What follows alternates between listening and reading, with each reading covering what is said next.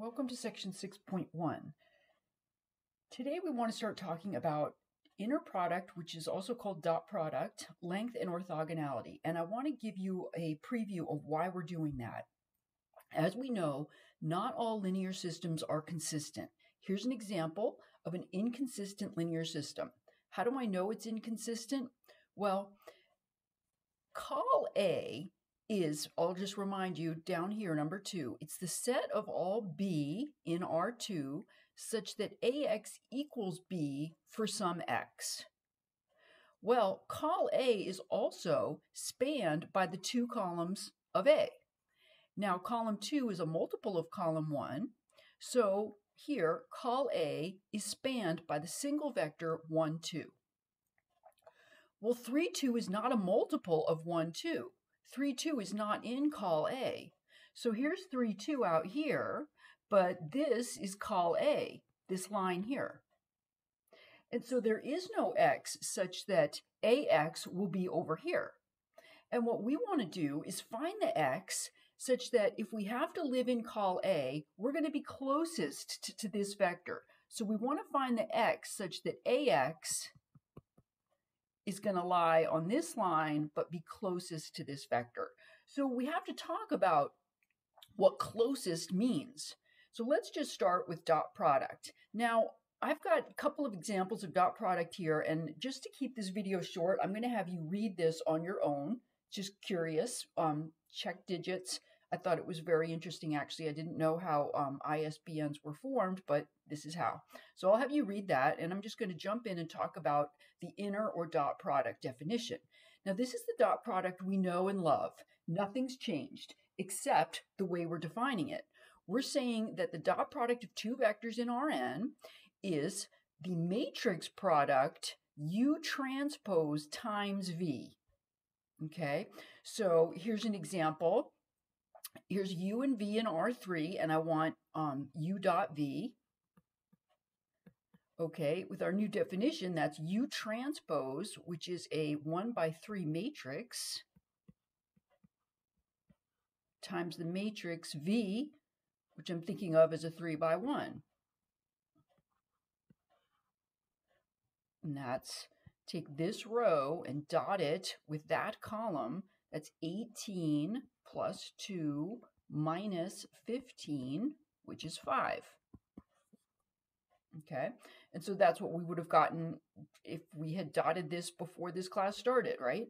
So you can keep dotting the way you always have. Just be aware that um, now we can think of it as U transpose V. It's nice um, when you're proving theorems to think of it like this. So let's do PP, pause and practice. You guys try and find the vector U I can, can barely read it. It's u dot v over v dot v times v. Okay, hopefully you did that. W is equal to, I'm just going to do this in my head, u dot v is negative 2 plus 15, that's 13, over v dot v, which is 25 plus 1 is 26, v, okay, that's 1 half, and v is negative 1, 5. So that's negative 1 half, 5 halves.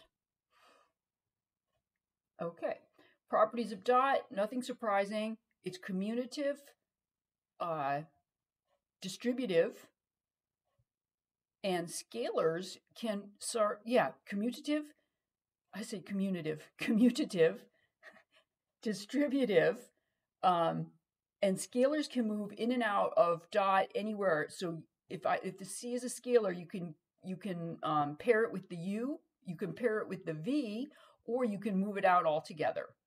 And finally, U dot U is always greater than or equal to zero because it's a sum of squares, and it's equal to zero if and only if U is the zero vector. And I'm going to let you read those proofs on your own. And I'm going to talk about length. The length, or sometimes we call norm of a vector, is, we use double bars for length, it's the square root of v dot v. Okay, square root of v dot v. Um, and a unit vector is a vector whose length is 1. And here are two useful facts. Sometimes we like to get rid of the square root, and so we'll write this equation as the length of v squared is v dot v. Okay, same, same equation, just writing it slightly differently. Sometimes it's nice to write it like that. And then a unit vector in the direction of v is v over the length of v. And if you've taken Calc 3, then, then you're used to finding that vector. All right, so let's do some examples. Find the length of v for v equal to this vector. So length of v is the square root of 6 squared plus negative 2 squared plus 3 squared, which is the square root of 36 plus 4 plus 9, which is square root of 49, which is 7. Okay, let's do pause and practice. Find the length of v for this vector here.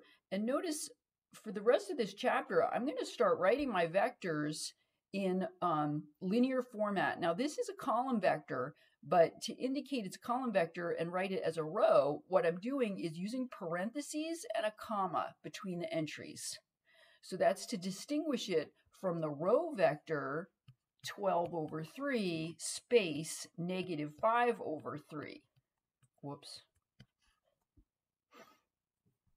Divide. That, so that would be a 1 by 2 matrix. Instead, I'm just writing a column vector like this. Okay, so go ahead and find the length. All right, so if you did that, you got length of V is square root of 144 over 9 plus uh, 25 over 9 because the negative squares out. And that's the square root of 169 over 9, which is 13 thirds.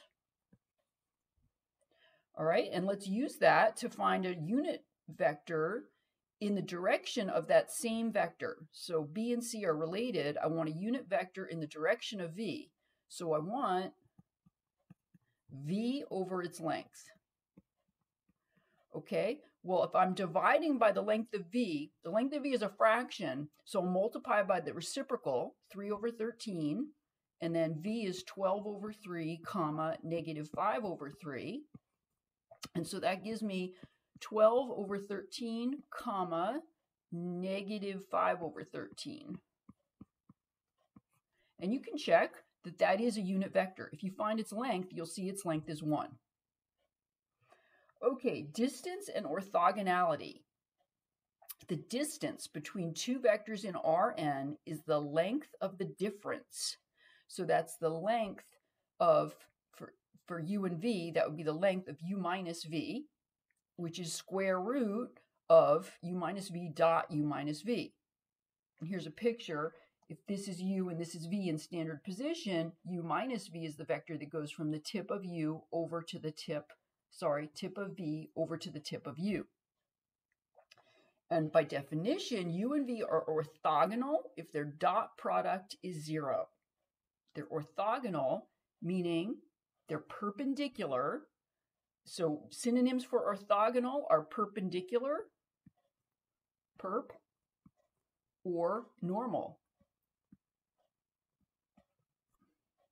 Perpendicular, normal, orthogonal.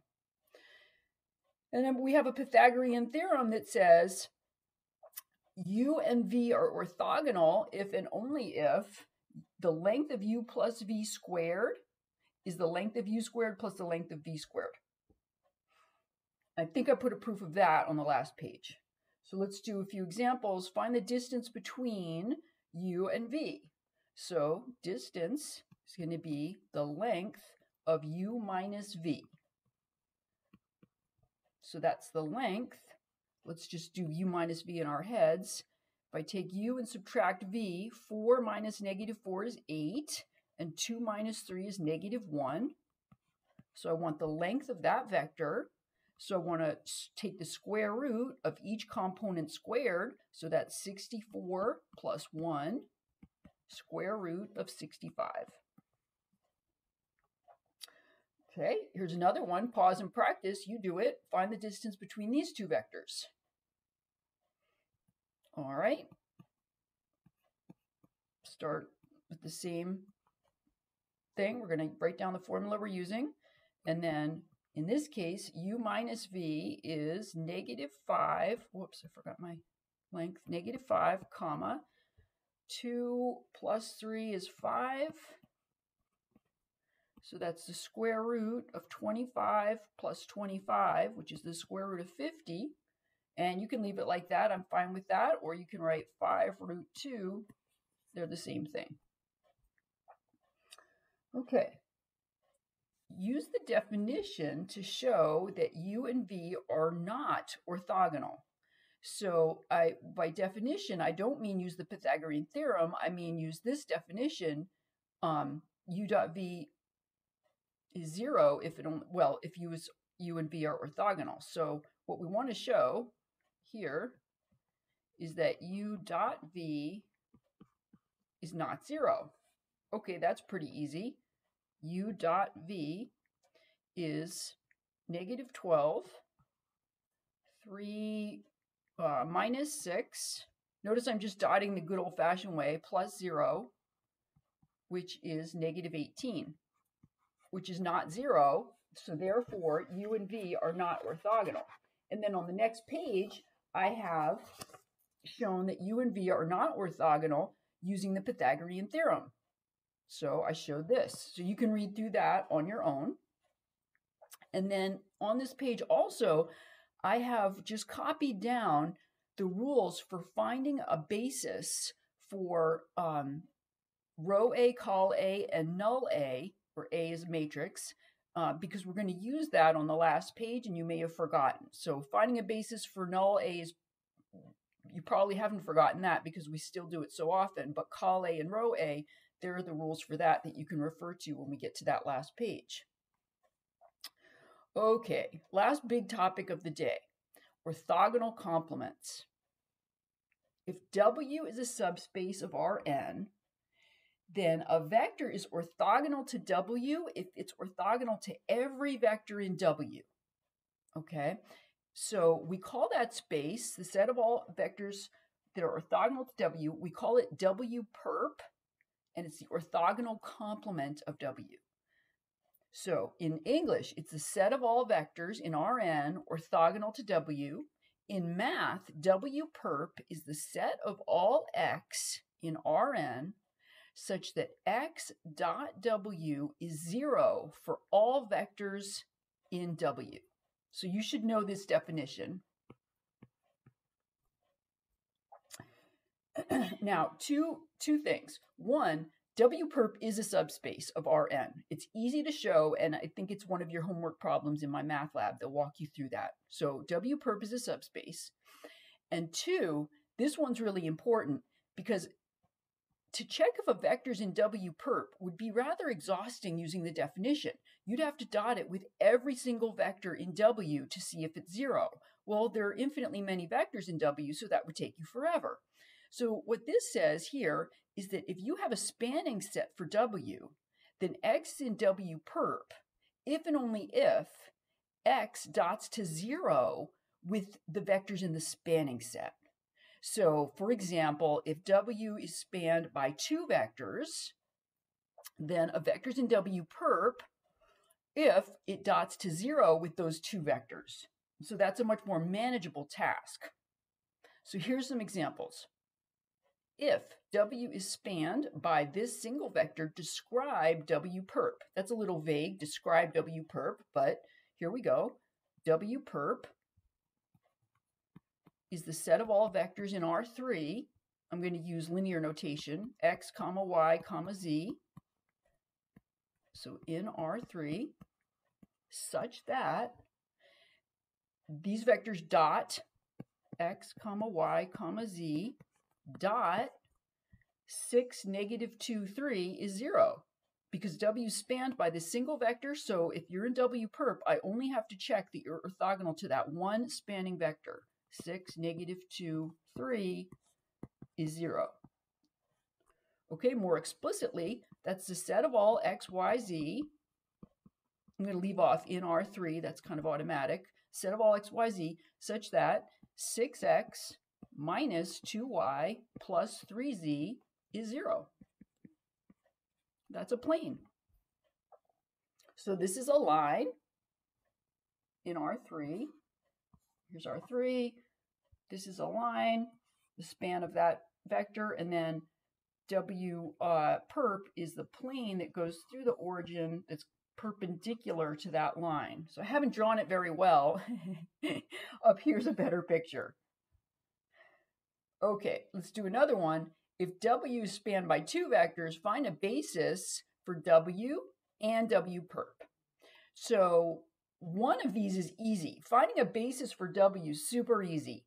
Remember, a basis has to have two things. It has to span and be linearly independent. Well, V1 and V2 span by definition because W is the span of those two vectors. They're linearly independent because it's two vectors and one's not a multiple of the other. So for a basis, just take V1 and V2. Okay, basis for W perp requires a little bit of work. A vector is in W perp, and these are vectors in R4. By the proposition above, I only have to check that the vector in R4 dots to 0 with V1 and dots to 0 with V2.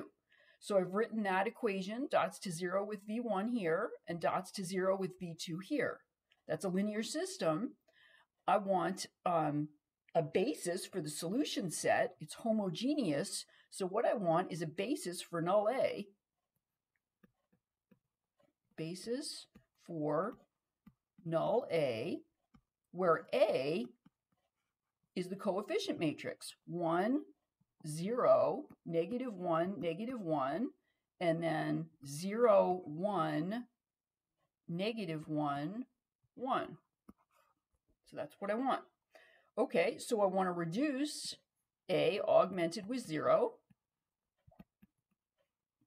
1, 0, negative 1, negative 1, 0, 1, negative 1, 1, augmented with 0.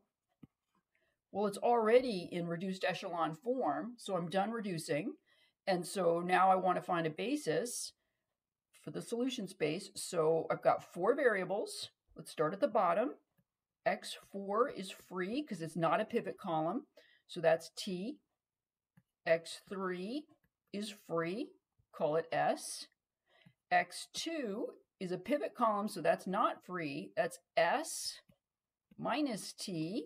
Remember, you got to move stuff to the other side. And then X1 is S plus T.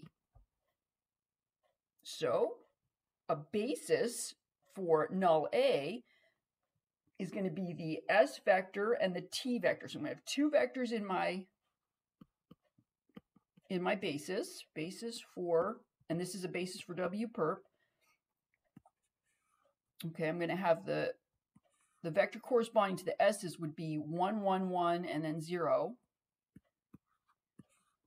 And then the vector corresponding to the T's would be 1, negative 1, 1, negative 1, 0, 1. Okay, so I'm doing more in your um, in this lecture than your your homework's going to ask. Your homework's going to be asking you for a bunch of um, just basically computations, dotting and distance and things like that. But I want to preview something that's really important when we talk about orthogonal complements. Let's look at a huge application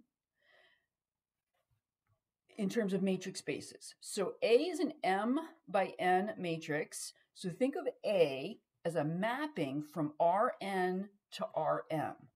And let's just review the four matrix spaces and where they live. Null A lives over here. Null A is the set of vectors that A kills, that A sends to zero. Row A also lives over here. Col A is the range of A, that lives over here. And a matrix um, space that we don't use very often, but it's still out there, is null A transpose, and that lives over here. Now, they live in these spaces in a special way, and that's what this theorem is all about. This theorem says that row A perp is null A. So vectors in null A will dot to zero with vectors in row A. Any vector in here will dot to zero with any vector in there. And over here, the same thing happens. Col A perp is null A transpose. So any vector in col A will dot to zero with any vector in null A transpose. And here is an example illustrating that very theorem. I've got a 2 by 3 matrix A, and so I want to think of A as a mapping from R3 to R2.